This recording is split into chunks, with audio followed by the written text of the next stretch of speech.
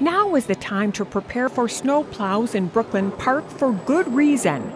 It's really treating everybody in the neighborhood and everybody who uses those city streets um, with respect because what happens if you park and you, maybe you're not parked in front of your other house, snowplow can't plow that snow, and a large snow bank is basically plowed around the car and left on the street.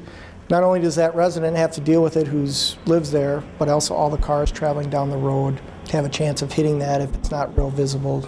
The city's two winter ordinances are no parking on city streets from 2 a.m. to 5 a.m., and there's no parking on streets if there is two inches of snow or more until they're plowed curb to curb.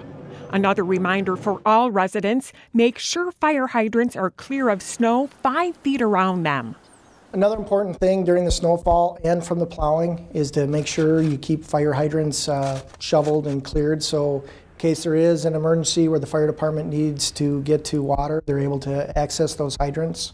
For more about this topic, go to brooklynpark.org and under residents, click on snow removal information.